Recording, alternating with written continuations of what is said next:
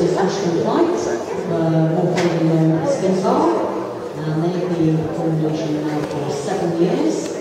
And together they've competed in British Dressage, Show Jumping, and British Eventing. Laura and Finn are currently uh, training at international level at the CCI.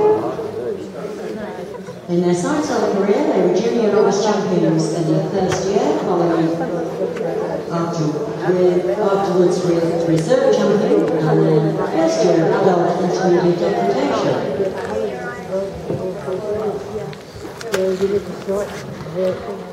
As a combination, they regularly ride for a bit on the side display team.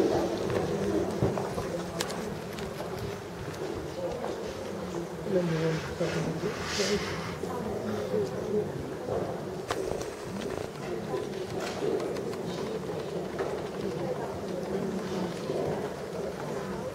think they ride with the fabulous Fortune Lego team, ladies team, and that is the team chasing, so obviously a brave young lady uh, from Area 12. Alongside this, they uh, have always put up a fantastic performance in the Carrier Race every year, and I would qualify that. She always does something interesting.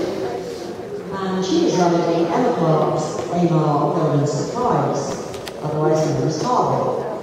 He's Palomino, he's 11 years old, and he's a part bred Arab by Small Land Martino out of Amar Golden Promise. And been doing side up now for only one year. Emma owned him for six years, and he does British eventing.